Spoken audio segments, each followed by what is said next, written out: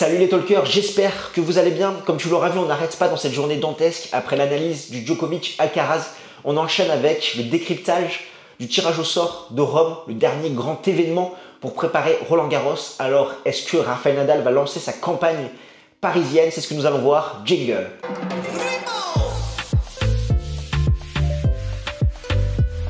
Avant tout, laisse-moi me présenter. Moi, c'est Constantin et bienvenue sur Stand Talk. J'aide des passionnés de tennis comme toi à décrypter l'actualité de la petite balle jaune. Alors, si c'est quelque chose qui t'intéresse, n'hésite pas à smatcher le bouton pour t'abonner, sachant que nous allons avoir une couverture quotidienne du Masters 1000 de Rome. Dans cette vidéo, comme tu l'auras compris, nous allons analyser, décrypter en long, en large et en travers le tirage au sort de Rome. Donc reste bien jusqu'au bout si tu veux connaître notre pronostic. Comme d'habitude, on commence avec un petit peu d'histoire. Nadal a gagné 3 des 4 dernières éditions du tournoi de Rome. C'est d'ailleurs le tenant du titre. Concernant Novak Djokovic, lui, il est au moins en finale 9 fois sur les 11 dernières éditions. Les deux fois où il n'y est pas, c'est 2013 et 2018. Autant te dire que ça remonte. Et enfin, bah, Rome est un tournoi où la terre battue se rapproche beaucoup plus de Roland Garros, sachant que contrairement à Madrid, les conditions ne sont pas en altitude, ce qui fait que la balle va traverser l'air beaucoup moins rapidement et ça va être beaucoup moins rapide. Et justement, pourquoi suivre ce tournoi? Ben, Tout simplement parce que c'est le dernier grand événement avant Roland Garros et qu'à la fin du tournoi italien, on en saura plus sur les formes du moment et on arrivera peut-être un petit peu plus à prédire le tournoi de Roland Garros qui pour le moment a pas mal d'incertitudes et d'inconnus. Comme d'habitude, on va analyser quart de tableau par quart de tableau. On commence avec celui de Novak Djokovic. On retrouve en tête de série Opelka, Schwartzmann et Yassim. Le coupeur de tête, c'est Vavrinka. Le quart théorique, c'est Djokovic contre Oje Aliassim. Et le quart que je pronostique, c'est Djokovic contre Schwartzmann. Comme je te l'ai dit, Djokovic se sent très très bien dans ce tournoi, dans ces conditions. C'est généralement là qu'il se lance pour Roland Garros, ou même si sur les tournois de préparation d'avant, il n'est pas forcément au top, il prend énormément de confiance à Rome, qui derrière va lui permettre d'aller très très loin à Roland Garros et de surfer un petit peu sur cette dynamique.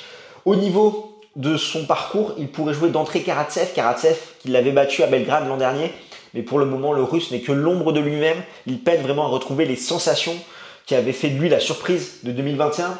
Derrière, ça pourrait être Opelka, Choric ou Wawrinka. Encore une fois, pas de menace pour lui, même si Opelka a une demi-finale à défendre de 2021. Choric et Wawrinka sont sur le retour. Et ensuite, Schwartzmann, Kekmanovic ou Oje Aliassim. Autant te dire que c'est un très bon tableau pour Novak Djokovic pour qu'il rallie de nouveau les demi-finales à Rome. L'autre quart de tableau, c'est celui de Rafael Nadal où il retrouve Chapovalov, Jurkac et Rude. Le coupeur de tête, c'est Sonego qui a fait une demi l'an dernier. Le quart théorique, c'est Nadal Rude. Et le quart que je pronostique, c'est Nadal Rude. Nadal pourrait jouer Isner, Chapovalov et ensuite Rude. Sur le papier, même s'il y a des joueurs qui peuvent faire un, un bon match comme Isner et Chapovalov, sur le papier, encore une fois, c'est beaucoup plus abordable qu'à Madrid par rapport à la confiance des joueurs qu'il pourrait rencontrer, sachant que les conditions lui vaut beaucoup mieux à Rome.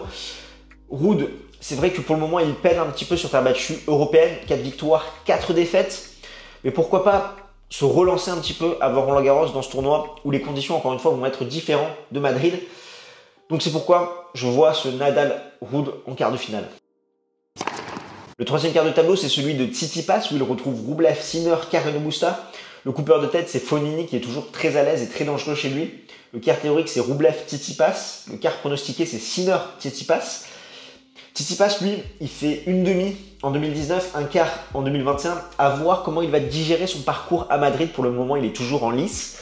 Potentiellement, il peut aller en finale, il peut aller au bout. Donc à voir la transition qu'il va faire, sachant qu'il n'y a pas de, de, semaine de récupération entre les deux Masters 1000. Il pourrait recroiser le fer avec Dimitrov. Les deux joueurs se sont déjà joués à Barcelone et Madrid puis Carreno Busta et ensuite Rublev ou Sinner. Rublev, quant à lui, pas se méfier des Italiens comme Fonini ou Sinner. Donc c'est vrai que ça risque d'être un petit peu compliqué pour, euh, le Russe qui peut avoir tendance à déjouer dans ses matchs. Le quatrième quart de tableau, c'est celui d'Alexander Zverev où il retrouve Alcaraz, Nori, Bautista Agut. En coupeur de tête, demi nord et Paul. Le quart théorique, c'est Zverev, Alcaraz. Et le quart que je pronostique, c'est Bautista Agut contre Alcaraz sans grande certitude on constate que l'Allemand est moins à l'aise à Rome qu'à Madrid, parce que généralement il paie ses efforts euh, de la capitale espagnole dans la capitale italienne. Il reste tout de même sur un quart de finale, une finale et un titre sur les quatre dernières éditions, donc c'est quand même pas mal pour l'Allemand.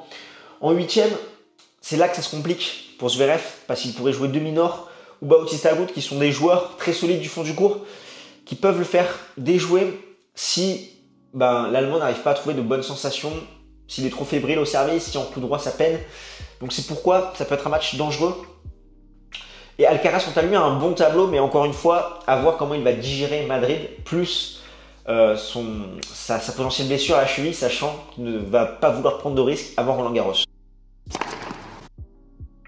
Je que si je résume au niveau de mes pronostics, ça ferait Djokovic, Schwartzmann, Nadal, Rude, Sinner, Tsitsipas, Bautista Agut, Alcaraz. Je vois une demi-finale Djokovic, Nadal, Sinner, Alcaraz.